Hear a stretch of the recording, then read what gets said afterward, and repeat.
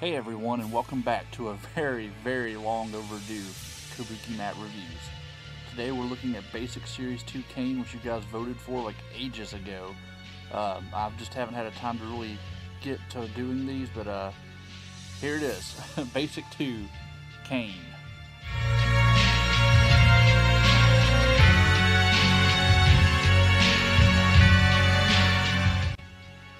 Kane's head scan is pretty good on this figure. Um, I, I, really don't think there's been a bad head scan since he's taken off his mask. Uh, even the Jakks ones were really good. Uh, the first Jakks head scan seemed to be similar to this one, but not as grimacing looking. Uh, he, he, had a few screaming head scans, and uh, it's pretty cool to see this head scan with his face kind of scowling a little bit. It's a it's a good head scan. Um, I am a little peeved that he does not have two different color eyes, which is a small small complaint, but it's kind of part of his character. So I think he should have at least you know the white eye.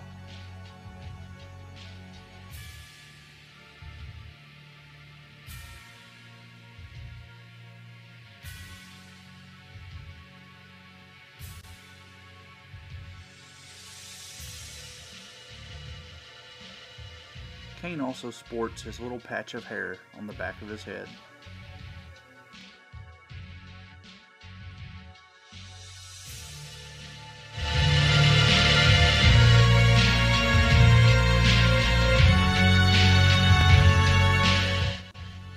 Kane's torso is big and bulky, and you can tell it when you hold the figure. It's a very solid piece.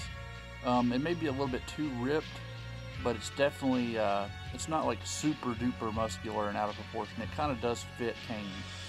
Um, his arms are pretty well proportioned. He comes with both elbow pads.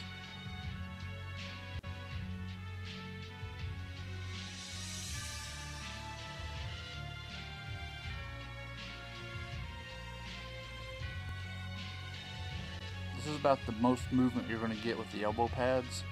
Um, it doesn't hinder the elbow too much, but you can see there's going to be a little bit of hindering.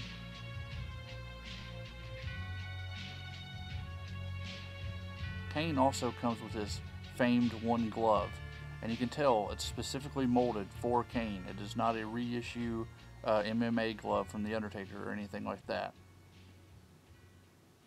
And on his left arm, he has the uh, wristband, kind of like you would get with an Undertaker figure that went with his gloves.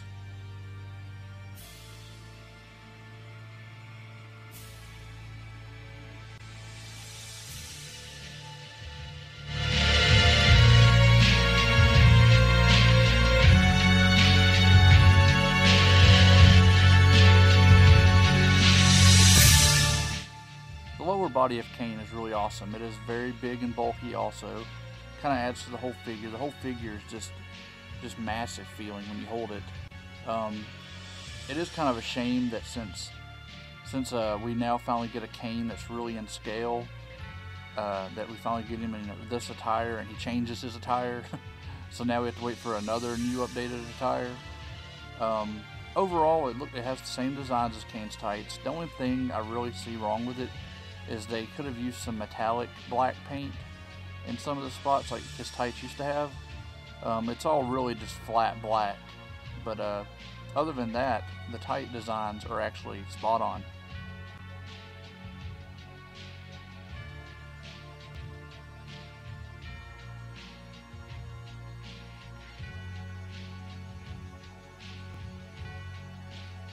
The boots fit Kane very well. He used to wear the, the big kick pads. And it's great to not see him not in the uh, boots that Jakks used to give him all the time that were just terrible. Uh, the boots are very large and they fit the figure very well.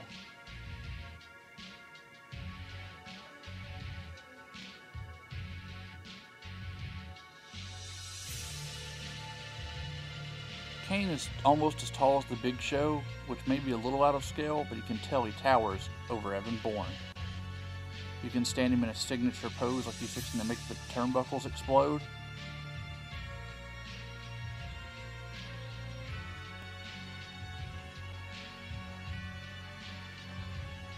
or if you're a true Kane fan, you can make him do his ultimate pose.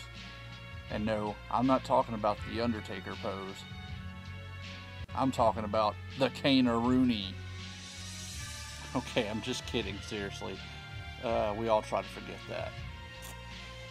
Yeah.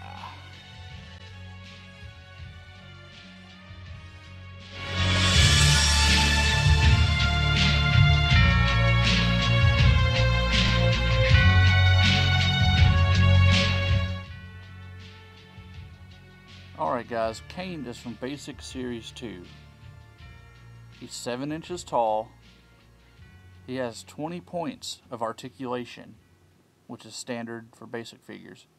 He's going to retail around $9.99, not $17.99, because that is obviously a typo right there. And uh, my final grade is going to be a 4.5 out of 5 because of the small complaints I had about his eye and his tights. But other than that, he's a great figure. Um, I was going to get SNK Jack to help me with this review, but we can never get around to it, so his grade will forever be a mystery.